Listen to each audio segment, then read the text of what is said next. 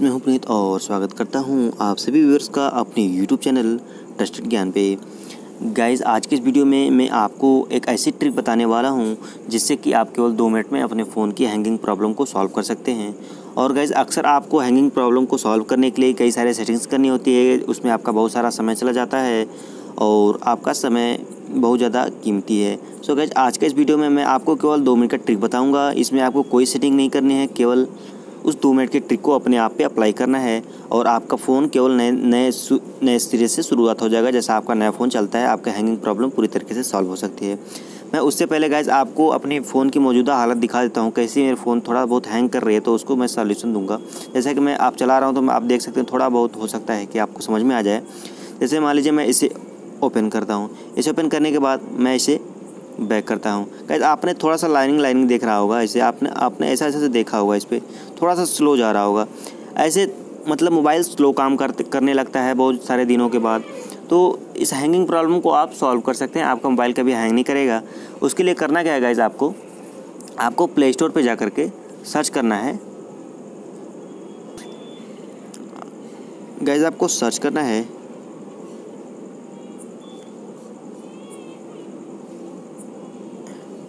से मैं ऊपर करता हूँ, लिखने में प्रॉब्लम आ रहा है। रिपेयर सिस्टम फॉर एंड्रॉयड जैसा कि आप लोग सेकेंड ऑप्शन देख रहे हैं, इसको आपको सर्च कर लेना है गाइस इसको आप सर्च करते हैं तो आपके सामने ऐसा पेज ओपन हो जाएगा, यहाँ वन मिलियन प्लस डाउनलोड आपको दिख जाएगा। गाइज़ आपको क्या करना है सिंपली इसको इंस्टॉल पे क्लिक करके इसे इंस्टॉल कर लेना है। गाइज़ हमारा जो ए है इंस्टॉल हो रहा है, और गाइज़ ज़्यादा साइज़ का भी नहीं, हमारा ऐप आठ दशमलव छः एम का साइज़ का है। और गैस काफ़ी अच्छा ऐप है, इससे आप लोग अपने पे यूज़ करेंगे तो आपको ज़्यादा अच्छा फीलिंग होगा इसका। क्योंकि इसमें समय लगने वाला है नहीं, आपका कोई समय बर्बाद नहीं होने वाला, आप इस पर ट्राई करें, बहुत सारे लोग ने इसे ट्राई किया है जिनको अच्छा रिज़ल्ट मिला है और उनका फ़ोन हैंग करने से बच चुका है, उनका फ़ोन अब हैंग नहीं करता, उनका फ़ोन स्लो काम नहीं करता। गैस फ़ोन को आप हमेशा सही ढंग से रखा करिए, उसे हमेशा रिफ्रेश कीजिए कैसे हमारा ऐप इंस्टॉल होने लगे। कैसे हमारा ऐप इंस्टॉल हो चुका है, हमें क्या करना है सिंपली ओपन पे ओपन कर लेते हैं।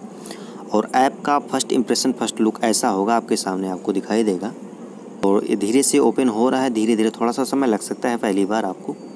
अलाउ स्टोरेज परमिशन आपको पहले, सबसे पहले आपको स्टोरेज परमिशन का अलाउ करना होगा, आपको ओके ओके पे क्लिक कर लेना है गाइज़ अलाउ करने के बाद गाइज़ आपके सामने ऐसे पेज ओपन हो जाएगा, आपकी पूरी इन्फॉर्मेशन यहाँ पे आ जाएगी। सिस्टम एंड ऐप्स यहाँ पे कितना साइज़ इसका इसमें, इसने कवर किया हुआ है, दो दशमलव नाइन जी बी यहाँ पर आप लोग देख सकते हैं।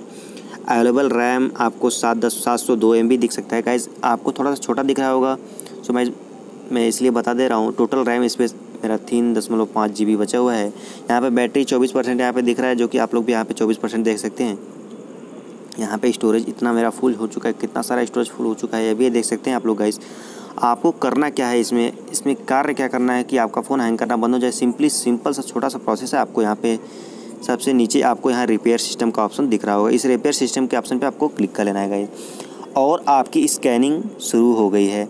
हमारी पूरी जितनी सारी स्कैनिंग है, कितने, जितने सारे फालतू के स्टोरेज हमारा कैप्चर हुआ है, जितना सारा फालतू का स्टोरेज हमारा कवर हुआ है, सारा इसमें मेंटेन होने वाला है।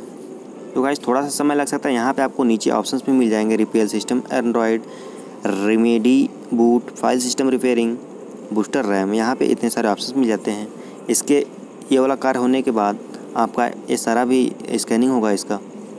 और गाइस आपके फ़ोन में जितने सारे बक्स जितने सारे एक्स्ट्रा जो अनवांटेड स्टोरेज होते हैं अनवांटेड जो कवरेज हमारा होता है, वो सबको क्लियर कर देगा।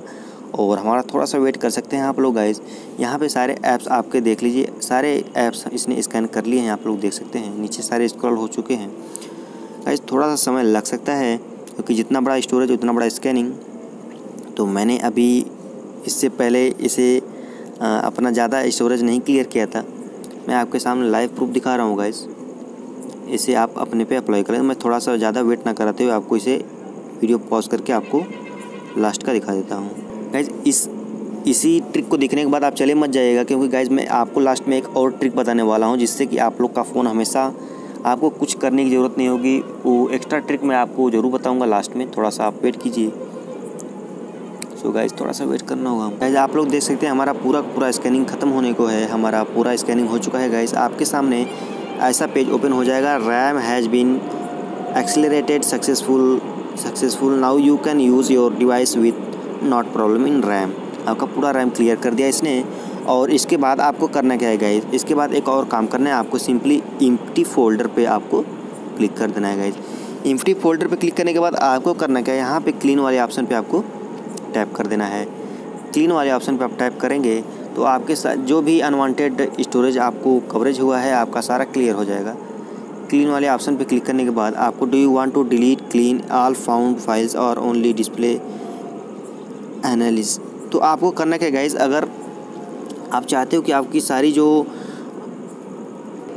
मतलब इसका कहने का मतलब है आप सारे फाइल्स को जो एनवाटेड फ़ाइल उसको डिलीट करना चाहते हैं या फिर एनालिसिस करना चाहते हैं तो इसको आपको करना क्या होगा क्लीन पे ना क्लिक करके आपको एनालाइज पे क्लिक कर देना होगा।